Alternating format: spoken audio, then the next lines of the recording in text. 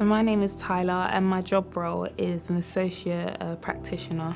I wouldn't say there is a normal day, which is a nice thing about this job. Most of the time you'll be working whilst learning, but you also have a study day where you're able to do tutorials and do all the extra stuff like reflections of what you've done during the week.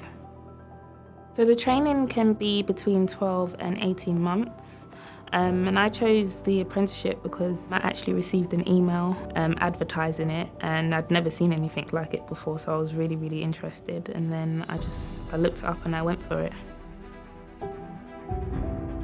It's beneficial for the population and it's rewarding as well because whatever you do you've done your best to try and detect cancer early so it's good for yourself but it's also good for the women out there.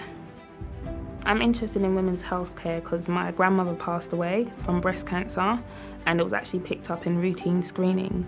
As a black woman as well, I know there isn't a great relationship um, with health in our community. So really, I wanted to get into it so I could know more, so that I could teach more within my community.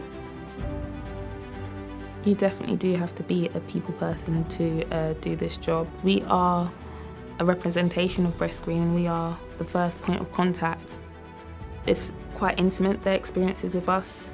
They have to get undressed in front of a stranger and word of mouth is everything. So if they have a good experience with us, they can go and tell other people and they'll be more likely to call up and make an appointment and they're more likely to attend again. It's really important to have mentors within the training because it's teaching me all the clinical skills I need to be to become a mammographer. It can be quite daunting coming from somewhere where I'm not clinical and I'm dealing with ladies who could potentially have a cancer, so it's very important to have mentors there for support. Ultimately, I'm a woman as well. This could be me. This will be me in a few years, and I would like to know that my family members or anyone that I care about, or just people in society, would come in and be treated with care.